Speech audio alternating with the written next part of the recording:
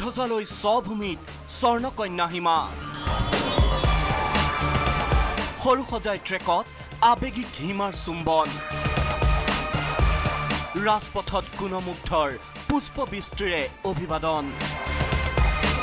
Asian গেমছত ভাৰতলৈ সোণ ৰূপ বুটলি আজি গৃহভূমিত উপস্থিত হ'ল ঢিং এক্সপ্ৰেছ হিমা দাস।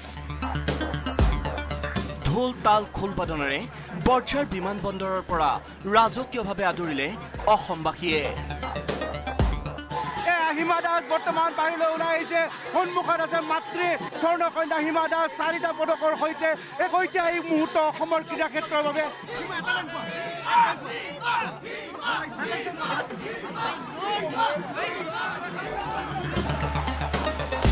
এয়া বিমানবন্দৰত হিমাৰ বাবে বিশেষভাৱে সজোৱা ডল ট্ৰেকৰ ৰেড কাৰ্পেট বৰ্জাৰ বিমানবন্দৰত হিমাক আদৰিলে মুখ্যমন্ত্ৰী সৰ্বানন্দ সোণোৱালে। দীৰ্ঘদিনৰ মূৰত স্বকন্যা হিমাক কাষত পাই আৱেগিক হৈ পৰিল পিতৃ মাতৃ দুগালত চুমাৰে উপচাই অশ্ৰুসিক্ত নয়নেৰে হিমাক সাৱটি ধৰিলে মাতৃয়ে। বিশগৰাকী বীৰাংগনাৰ নিৰাপত্তাৰ মাজেৰে এয়া বৰ্জাৰ বিমানবন্দৰৰ পৰা স্বৰ্ণকন্যা হিমা সুধা কণ্ঠৰ সমাধি ক্ষেত্ৰলৈ আগবঢ়াৰ দৃশ্য। পথৰ কাষে কাষে গুণমুগ্ধৰ ভিৰ। মাজে মাজে হিমাই বাহনৰ পৰা ওলাই গ্ৰহণ কৰিছে গুণমুগ্ধৰ মৰম আৰু অভিবাদন। গুণমুগ্ধৰ উষ্ম আদৰণিৰ মাজেৰেই এয়া সুধা কণ্ঠৰ সমাধি ক্ষেত্ৰত ঢিং এক্সপ্ৰেছ হিমা।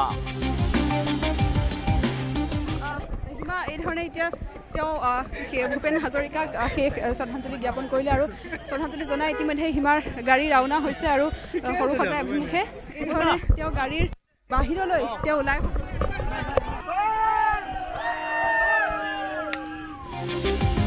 সুধা কণ্ঠৰ সমাধিত বন্তি প্ৰজ্বলনেৰে শ্ৰদ্ধাঞ্জলি জনাই এইবাৰ হিমা আগবাঢ়িল সৰু সজাই ষ্টেডিয়ামলৈ। কিবা এই ট্ৰেকতে হয়। নাই এই ট্ৰেকতে আপুনি এদিন আৰম্ভ কৰিছিল আৰু পাতিম পাতিম কথা সকলোৰ লগতে তাৰ পৰা আহি লওঁ এই ট্ৰেকৰ পৰাই হিমাই আৰম্ভ কৰিছিল তেওঁৰ যি বিশ্বজয়ৰ যি সপোন সেই বিশ্বজয়ৰ সপোন এই ট্ৰেকৰ পৰাই হিমাই আৰম্ভ কৰিছিল আৰু আজি সেই ট্ৰেকলৈ তেওঁ আগুৱাই আহিছে। এই ট্ৰেকৰ সৈতে হিমাৰ জড়িত হৈ আছে আৱেগ দৌৰৰ আদি পাঠ লোৱা সৰু সজাই ট্ৰেকত সেৱা জনালে হিমাই খালে আৱেগৰ চুমা। আৰু তাৰ পিছতে এয়া হিমাৰ জনপ্ৰিয় ফটো পজ কিছু সময় সৰু সজাই ষ্টেডিয়ামত কটাই হিমাই প্ৰকাশ কৰিলে স্বৰ্ণীল অনুভৱ। এখন ট্ৰেকৰ পৰা আজি ইমানখিনি পালোহি আৰু ইয়াতে বহুত দিনৰ মূৰত আহিছোঁ ইণ্টাৰ ষ্টেটত আহিছিলোঁ। তাতে খেলি পেলাই চিলেকশ্যন হৈ জাকাৰ্টাত এনেকৈ মেডেল ল'বলৈ সক্ষম হৈছিলোঁ। আৰু এইখন ট্ৰেকত মই তেতিয়া ছাৰহঁতক কৈছিলোঁ যে কিবা এটা হ'বলৈ হ'লে মই এখন ট্ৰেকৰ পৰাই হ'ম আপোনালোকৰ মাজৰ পৰাই হ'ম। তাৰ কাৰণে ছাৰহঁতক থেংক ইউ সকলোকে ধন্যবাদ জ্ঞাপন কৰিছোঁ। আপোনালোকে ইমানখিনি আশীৰ্বাদ কৰিলে। আৰু আশীৰ্বাদ কৰাৰ কাৰণে মই আজি এইখিনি পাইছোঁহি। আৰু আপোনালোক সংবাদ মাধ্যমে সকলোকে ধন্যবাদ জ্ঞাপন কৰিছোঁ। আপোনালোকে পোনপটীয়া সম্প্ৰচাৰ দেখাই থাকে অসমৰ ৰাইজক। আৰু নিশ্চয় নিশ্চয় এইটো বেলেগ অনুভৱ এইটো হৈছে। আৰু আপোনালোকৰ সক- সমূহ সমূহ সাংবাদিকসকলক মই পিছত আকৌ লগ পাম জাষ্ট এইখিনিৰ কাৰণে। থেংক ইউ থেংক ইউ চব প্ৰতিভাৰে জিলিকি উঠা হিমাৰ অসমবাসীক ধন্যবাদ।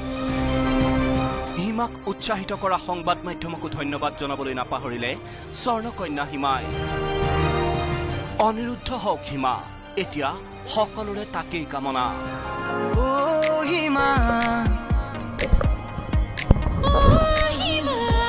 Bureau report news eighteen Assam north east.